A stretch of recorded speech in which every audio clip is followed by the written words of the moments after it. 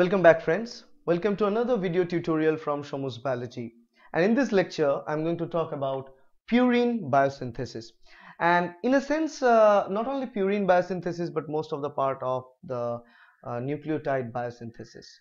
You know, the idea of nucleotide biosynthesis is not a very unique uh, because the purine biosynthesis pathway or pyrimidine biosynthesis pathway, they are linked with multiple other types of metabolic pathways in our body.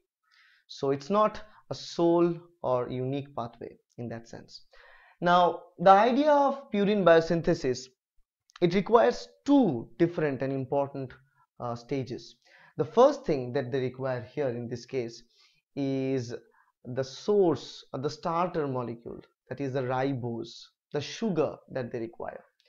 And that sugar needs to be delivered in the active form right? Because remember uh, the building block of any of this nucleotide that, that there is a sugar plus there is a base right in the nucleotide biosynthesis. Now the bases are of two types purines and pyrimidines. The example of purine is adenine and guanine. Pyrimidines are cytosine and thymine or uracil. Now in this case when they are producing nucleotides they're not actually when we're talking about nucleotide metabolism we're not talking about production of purine base only. We're talking about this complete structure sugar base phosphates all of these things together uh, that will be known as a nucleotide. The complete form. And once you add nucleotides you will form nucleic acids. So here uh, the first material is ribose sugar but the ribose as its own form is inactive to participate in any process of production of nucleotides. So we need to make it active. So to make the ribose active, we need to attach a phosphate and convert the ribose into ribose 5-phosphate. This is a very important step that needs to happen even before the nucleotide biosynthesis. While on the other hand, the synthesis of the base, if you look, the purine in, in, its, in its form, either adenine or guanine, that also requires uh, different amino acid derivatives because the production of purine base and structure requires different amino acids and the modifications of the amino acids. So the purine biosynthesis or pyrimidine biosynthesis in a sense of nucleotide metabolism, it depends on two different steps. One is the metabolic pathway associated with carbohydrates that is pentose phosphate pathway because this charged or activated form of ribose 5 phosphate is actually produced from pentose phosphate pathway. So this is a part of carbohydrate metabolism. While the second step or second part of the story of the nucleotide metabolism that is the production of adenine and guanine the actual purine base uh, it requires different amino acids. The example of such amino acids glycine, aspartic acid, glutamine. These are the example. So these are the amino acids they help to produce adenine and guanine, the actual purine bases, while pentose phosphate pathway, which is a part of uh, the carbohydrate biochemical pathways, that generates ribose 5-phosphate.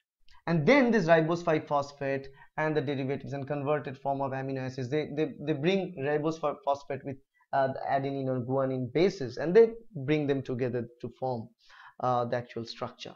And there are so many different types of enzymes required in the different stages and different processes. One of the example is PRPP, the, one of the most important uh, enzyme that is involved in the process of purine and pyrimidine biosynthesis.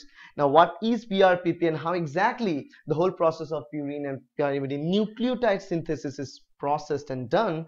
To understand that we will watch the second mm, part of the video. Now I'm going to show an animation mm, uh, that is going to tell you about how exactly each of the stages are, are done and are catalyzed by the enzymes and then finally we get our product. Okay guys, now let's talk about the regulation of purine biosynthesis pathway.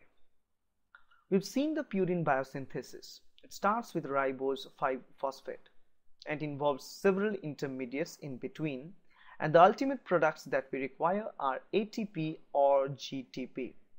Now we know in this case of the purine biosynthesis, it's very important to keep them so much tightly regulated. Otherwise difference amount of ATP and GTP presence inside the cell can cause severe problems. So we know in this case you will see most of the product inhibitions and few of the feedback inhibition processes that governs the inhibition. Inhibitions in this table are mentioned with this red stop signs and the activation is only one that is maintained with this green dot. Let's talk about the inhibition and control. In the first stage of purine biosynthesis, ribose 5-phosphate is converted to IMP. In the second stage, IMP is a precursor for both production of ATP and GTP.